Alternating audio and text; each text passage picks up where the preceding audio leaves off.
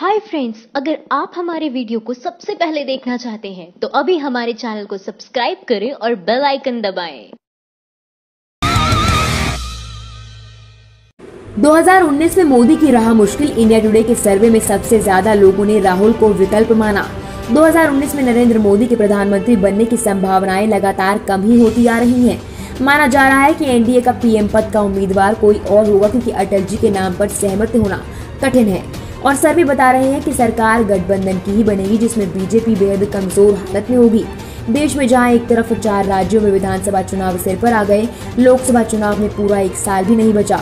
लेकिन इन चुनावों को लेकर जनता का क्या मूड है, इस पर सर्वे किया गया। जनसत्ता ने कार्वी इंसाइट्स इंडिया टुडे के सर्वे के हवाले से खबर दी कि बीजेपी इस बार यानी 2019 के चुनाव में अकेले अपने दम पर बहुमत हासिल नहीं कर सकेगी। सर्वे में त्रिशुल्क लोकसभा बनाने के आसार बताए गए।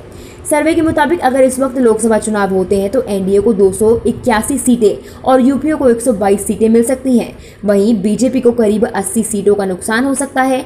बीजेपी 245 सीटों पर और कांग्रेस तिरासी सीटों पर कब्जा कर सकती है। वहीं अगर करीब 10 महीने के वक्त के बाद, यानी 2019 में लोकसभा चुनाव होंगे तो सर्वे के मुताबिक एनडीए को दो सौ पचपन सीटें और यूपीओ को दो सौ बयालीस सीटें मिल सकती हैं। वहीं अन्य के हिस्से में छियालीस सीटें जा सकती हैं। वहीं बीजेपी को एक सौ छियानवे सीटें मिल सकती हैं और कांग्रेस सत्तानवे सीटों पर ही सिमटती दिख रही है। इसके अलावा अगर वोट शेयरिंग प्रतिशत को लेकर बात की जाए तो अगर अभी चुनाव होते हैं तो एनडीए छत्तीस फ़ीसदी वोट शेयरिंग हासिल कर सकती है। तो वहीं यूपीए के हिस्से में इकतीस फ़ीसदी और अन्य के हिस्से में तैंतीस फ़ीसदी वोट शेयर ज़्यादा दिख रहे हैं। कार्वी इंसाइट्स इंडिया टुडे के सर्वे के मुताबिक प्रधानमंत्री पद के लिए भी लोगों से राय मांगी गई। उनतालीस फ़ीसदी लोगों के लिए पीएम की पहली पसंद नरेंद्र मोदी है तो वहीं सत्ताईस फ़ीसदी लोगों की पहली पसंद राहुल गांधी। इसके अलावा छियालीस फ़ीसदी लोग राहुल गांधी को मोदी का बेहतर विकल्प मानते हैं तो आठ फ़ीसदी लोग ममता बनर्जी और चार फ़ीसदी लोग अखिलेश यादव को। अगर त्रिशुल लोकसभा बनती है तो ज़ाहिर बात है गठबंधन की सरकार ही बनेगी। गठबंधन अगर कांग्रेस के नेतृत्व में बना तो राहुल गांधी और बीजेपी के नेतृत्व में बना तो ऐसे नाम पर सहमति बनेगी जो सबका साथ लेकर चल सके और जिसके नाम से कोई आक्रमण ना हो। योगी आदित्यनाथ बुरी तरह फंसे भड़काऊ भाषण में जेल जाने की नौबत सुप्रीम कोर्ट का नोटिस। उत्तर प्रदेश के मुख्यमंत्री योगी आदित्यनाथ की मुश्किलें बढ़ सकती हैं। 2007 में गोरखपुर में कथित भड़काऊ भाषण के मामले में सुप्रीम कोर्ट ने उत्तर प्रदेश की ब्यूरोक्रेसी को नोटिस जारी कर जवाब मांगा। उसे चार सप्ताह दिए गए सुप्रीम कोर्ट ने इलाहाबाद हाईकोर्ट के मुकदमा रद्द करने के फैसले के खिलाफ ये नोटिस जारी किया। दरअसल इस मामले में यूपी सरकार ने कानूनी कार्रवाई के लिए इजाज़त नहीं दी थी और इलाहाबाद हाईकोर्ट ने यूपी सरकार के फैसले पर मुहर लगा दी। इससे पहले सीएम योगी के खिलाफ 2007 के गोरखपुर दंगे में कथित भड़काऊ भाषण देने के मामले में सुनवाई करते हुए सुप्रीम कोर्ट ने योगी आदित्यनाथ समेत सभी अभियुक्तों को पक्षकार बनाने का निर्देश दिया था। गौरतलब है कि 2008 में हाईकोर्ट में एक याचिका दायर की गई थी। इसमें योगी द्वारा किए गए कथित भड़काऊ भाषण को दंगे की वजह बताया गया जिसके बाद तत्कालीन सांसद योगी आदित्यनाथ को गिरफ़्तार कर 11 दिनों की पुलिस कस्टडी में रखा गया। याचिका में योगी के खिलाफ आईपीसी की धारा 302, 307, एक सौ तिरपन तीन सौ पचानवे दो सौ पचानवे के तहत जाँच की मांग की गई जिसके बाद केस की जाँच सीबीआई सीडीआई और 2013 में भड़काऊ भाषण के रिकॉर्डिंग में योगी की आवाज़ सही पाई गई। टिप्पणियाँ हालाँकि उस दौरान यूपी की अखिलेश सरकार से अनुमति न मिलने से सीबीसीआईडी ने तत्कालीन संसद के खिलाफ कोई चार्जशीट दाखिल नहीं की गई। लेकिन 1 फरवरी 2018 को इलाहाबाद हाईकोर्ट ने योगी समेत आठ आरोपियों के खिलाफ मुकदमा चलाने की मांग वाली अर्जी को खारिज कर दिया था। इसी मामले को लेकर याचिकाकर्ता परवेज ने सुप्रीम कोर्ट का रुख किया है। 2019 में मोदी की जगह ये भी हो सकते हैं प्रधानमंत्री। 2019 के चुनाव को लेकर आम धारणा ये रहती है कि बीजेपी येन केन प्रकरण सरकार बना ही लेगी। लोग इस बात को लेकर आश्वस्त हैं कि मोदी अगला चुनाव भी निकाल ही लेंगे। लेकिन राजनीतिक हालात का बारीकी से विश्लेषण करने वाले मानते हैं कि बीजेपी भले ही 2019 में सरकार बना ले, लेकिन मोदी का पीएम बनना बहुत मुश्किल से भी ज़्यादा मुश्किल है। ये भी माना जा रहा है कि मोदी अगर पीएम नहीं बने तो राहुल गांधी भी प्रधानमंत्री बनने की हालत में नहीं होंगे। पिछले लोकसभा चुनाव में बीजेपी ने हर राज्य में अधिकतम सीटें जीती थी। कई राज्यों में से उसे सभी सीटें मिल गई, लेकिन इस बार हालात ऐसे नहीं रहने वाले। पार्टी को राजस्थान, मध्य प्रदेश, छत्तीसगढ़, बिहार, कर्नाटक, दिल्ली, हरियाणा और पंजाब में जितनी सीटें मिली थी, उतनी दोबारा मिलना संभव ही नहीं। बीजेपी की हालत अगर सबसे अच्छी रहती है तो भी 220 सीटों तक उसे मिल सकती हैं और इस हालत में वो सरकार भी बना लेगी। लेकिन इस बात की संभावना काफ़ी कम है कि बीजेपी के नेतृत्व में जो गठबंधन सरकार बनेगी, उसके मुखिया नरेंद्र मोदी होंगे। ज़्यादातर पार्टियों के नेता मानते हैं कि नरेंद्र मोदी के साथ गठबंधन में रहना मुमकिन नहीं। वो सहयोगियों के साथ निष्ठा से नहीं रह सकते और अपनी छवि बनाने के लिए उन्हें परेशान करते हैं। इसके मुकाबले ममता बनर्जी और नवीन पटनायक जैसे नामों पर सहमति का अनुमान लगाया जा रहा है। कुछ लोग मानते हैं कि आपसी जोड़ तोड़ के बाद मोदी के विश्वस्त अरुण जेटली जैसे नेता का नाम भी आ सकता है। लेकिन जेटली भी उग्र स्वभाव वाले हैं और गठबंधन में ऐसे नेताओं की दाल नहीं गलती। कांग्रेस के एक अग्रणी नेता यहाँ तक कहना है कि हम निरंकुश और ज़्यादा मिलनसार बीजेपी नेता राजनाथ सिंह त्रिशंक संसद की सूरत में संभावित सहयोगी दलों के लिए स्वीकार्य हो सकते हैं। मोदी तभी सरकार बना सकते हैं जब बीजेपी अपने दम पर 240 सीटें जीते। 2019 को लेकर सोनिया गांधी से राय मांगी गई तो उन्होंने अभी से इस पर टिप्पणी करने से मना कर दिया। अचरज की बात तो यह है कि कांग्रेसियों को राहुल गांधी के नाम पर सहमति मिलने की संभावना कम लगती है। उधर कांग्रेस पार्टी में भी गुजरात चुनाव में कांग्रेस की सीटें बढ़ने और राजस्थान के उपचुनाव में उसके जीत दर्ज करने से पार्टी में एक नई ऊर्जा का संचार हुआ। पार्टी अध्यक्ष राहुल गांधी समेत ज़्यादातर कांग्रेसी कार्यकर्ताओं में 2019 में पार्टी की खोई खास वापस लाने की उम्मीद जग गई। जानकारों की माने तो पिछले कुछ समय में राहुल गांधी की इमेज भी जनता के बीच काफ़ी चमक गई। राहुल सौम्य है, इसलिए दूसरी पार्टियों को उनके नाम पर ऐतराज शायद ही हो। लेकिन सारे अनुमान बेहद जल्दबाजी में आ रहे हैं। चुनाव के वक्त क्या माहौल बनता है, वो तभी पता चल सकेगा।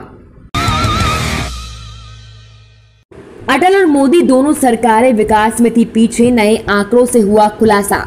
राष्ट्रीय सांख्यिकी आयोग द्वारा गठित committee of real sector statistic की रिपोर्ट में खुलासा हुआ कि मनमोहन सिंह के कार्यकाल में भारत ने सर्वाधिक विकास दर हासिल की थी। देश की आर्थिक वृद्धि दर का आंकड़ा 2006-7 में दस दशमलव शून्य आठ प्रतिशत रहा, जो उदरीकरण शुरू होने के बाद का सर्वाधिक वृद्धि आंकड़ा है। यह आंकड़ा पूर्व प्रधानमंत्री मनमोहन सिंह के कार्यकाल का है। आधिकारिक आंकड़ों में ये जानकारी दी गई। आज़ादी की बात देखा जाए तो सर्वाधिक दस दशमलव दो प्रतिशत आर्थिक वृद्धि दर उन्नीस सौ नवासी में रही। उस समय प्रधानमंत्री राजीव गांधी थे। राष्ट्रीय सांख्यिकी आयोग द्वारा गठित committee of real sector statistics ने पिछली श्रृंखला 2004-5 के आधार पर जीडीपी आंकड़ा तैयार किया। यह रिपोर्ट सांख्यिकी और कार्य क्रियान्वयन मंत्रालय की वेबसाइट पर जारी की गई। रिपोर्ट में पुरानी श्रृंखला 2004-5 और नई श्रृंखला 11-12 की कीमतों पर आधारित वृद्धि की दर की तुलना की गई। पुरानी श्रृंखला 2004-5 के तहत सकल घरेलू उत्पाद की वृद्धि दर स्थिर मूल्य पर 2006-7 में नौ प्रतिशत रही। उस समय मनमोहन सिंह प्रधानमंत्री थे। नई श्रृंखला 2011-12 के तहत ये वृद्धि दर संशोधित होकर दस दशमलव शून्य आठ प्रतिशत रहने की बात कही गई है।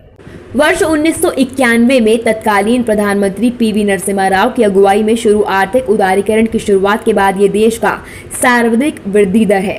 रिपोर्ट के बाद कांग्रेस पार्टी ने ट्विटर पर लिखा, जीडीपी श्रृंखला पर आधारित आंकड़ा अतः आ गया ये साबित करता है कि संप्रंग शासन के दौरान की वृद्धि दर मोदी सरकार के कार्यकाल की औसत वृद्धि दर से अधिक रही। कांग्रेस पार्टी ने कहा, संप्रंग सरकार के शासन में ही वृद्धि दर दहाई अंक में रही, जो आधुनिक भारत के इतिहास में एकमात्र उदाहरण है।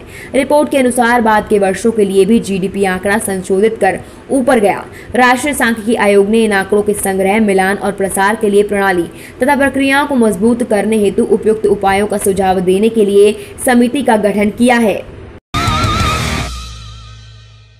मोदी के एक दस्तखत से दूर हो सकती है बेरोजगारी, पकौड़े नहीं, ऐसे मिलेगा रोज़गार। एक करोड़ रोज़गार देने का वादा करने वाले प्रधानमंत्री तरह तरह की बातों की जुगाली कर रहे हैं। कभी वो कहते हैं कि कार बिक्री तो सबको ड्राइवर की नौकरी मिली और रोज़गार पैदा हुए तो कभी कहते हैं पकौड़े बेचना भी तो रोज़गार है। नितिन गडकरी कहते हैं कि नौकरी है कहाँ, अब आरक्षण लेकर क्या करोगे, नौकरी तो है नहीं। लेकिन पत्रकार पुण्य प्रसून वाजपेयी ने देश के कर्ता धर्ताओं की इस अदा के छिलके उतार कर अंदर कितना गूदा है ये दिखा दिया। उन्होंने कुछ आंकड़े ट्वीट किया ये आंकड़े कहते हैं कि रोज़गार आप देना ही नहीं चाहते, वरना नौकरियाँ तो आपकी जेब में रखी है मोदी जी। बहरहाल, प्रसून यानी पुण्य प्रसून वाजपेयी के आंकड़ों पर नज़र डालते हैं। प्रसून कहते हैं, इससे बेरोजगारी तो बढ़ ही रही है, देश का सिस्टम भी लचर हो गया है। जब लोग ही नहीं होंगे तो काम कैसे होगा?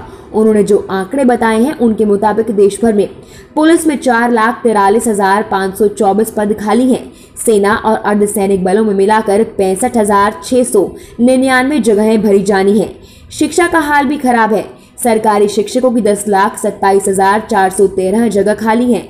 गाँवों में डॉक्टर और नर्स के बहत्तर 150 पद खाली पड़े हैं और लोग बिना इलाज के मर रहे हैं या इलाज के लिए शहरों में आने को मजबूर हैं। इतना ही नहीं, पोस्ट ऑफ़िस में पचास हज़ार तीन सौ उनतालीस और सरकारी बैंकों में सोलह हज़ार पाँच सौ साठ जगहें खाली पड़ी हैं प्रसून पूछते हैं, क्या बेरोजगारों के पास सिर्फ़ पॉलिटिकल पार्टियों की नौकरी का रास्ता छोड़ेगी सरकार? उन्होंने लिखा कि चुनाव को ही देश का मिशन बना दिया गया। शिक्षा का खराब हालत तो सेंट्रल यूनिवर्सिटियों में एक हज़ार दो सौ उन्नीस जगह खाली पड़ी हैं। इसके अलावा आईआईटी में दो हज़ार छः सौ उनसठ पद खाली हैं। एनआईटी में 1507 पद रिक्त हैं और आईपीएस आईएएस की 2434 जगहें सरकार की इजाज़त का इंतज़ार कर रही हैं। पुण्य प्रसून वाजपेयी ने अपने ट्वीट में लिखा कि मोदी के हर मंत्री के अधीन पद खाली है और देश में पकौड़ों के रोज़गार बताए जा रहे हैं। इसके बावजूद प्रधान सेवक बेफिक्र हैं। उनके आंकड़ों के मुताबिक गृह मंत्रालय बहत्तर पद खाली हैं। कृषि मंत्रालय में दो हज़ार उनतालीस पद नियुक्तियों के इंतज़ार में है।